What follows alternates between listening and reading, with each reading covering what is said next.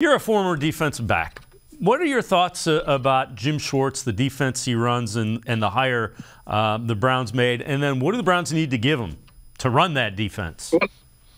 Well, I think that it's a home run hire. I mean, you got a guy in there. Obviously, if you listen to uh, J3's closing or uh, exit interview, you know, he was talking about how there wasn't a lot of energy, you know, from Joe Woods. You know, kind of he'll basically give you the game plan, and you know, they, it wasn't a lot of motivation behind it. Obviously, with Jim Schwartz, you're getting a guy who was a former head coach you know, a guy that if you listen to him, you'll be successful. Obviously, this guy won the Super Bowl as a defensive coordinator, so that automatically is going to get the attention of the players right there. Um, what do I think they need to make this defense work? Obviously, the glaring issue is defensive tackle. Um, you you notice that if you look at his resume, when he was a DC, all of his defensive tackles were either Pro Bowl or All Pro type players.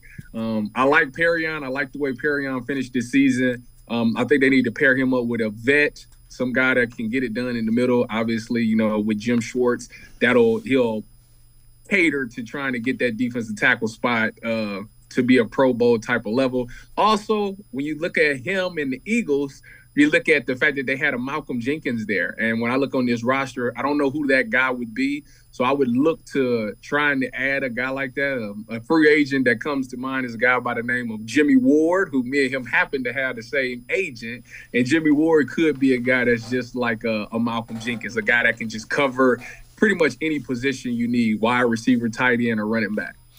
As a former defensive back, um, the scheme usually puts guys up tight on the line of scrimmage and tries to make wide receivers' life miserable at the line.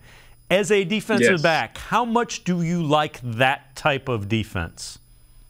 Well, I well when I played, that was what I preferred because you want to get your hands on these receivers. You know, people think that just because receivers are fast that you can't stick with them. But if you get your hands on them and you can control them at the line, it puts you on top of the route. It puts you in control of him. He can't get all the way to 100% speed if you're on top of the route or if you, you know, hand fighting with him the whole way. So I personally like that.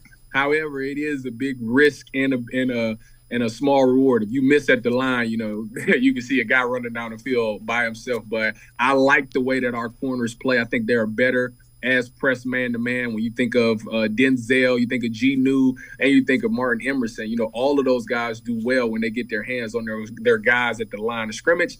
So I think that they will. I think they will be for this one thousand percent, especially if you tie in that pass rush. Yeah, doesn't that seem to play to the strengths of those three in particular? Uh, those three. Yeah. Okay. I, that, Absolutely. That was my my read of it. I just wanted to run that by you.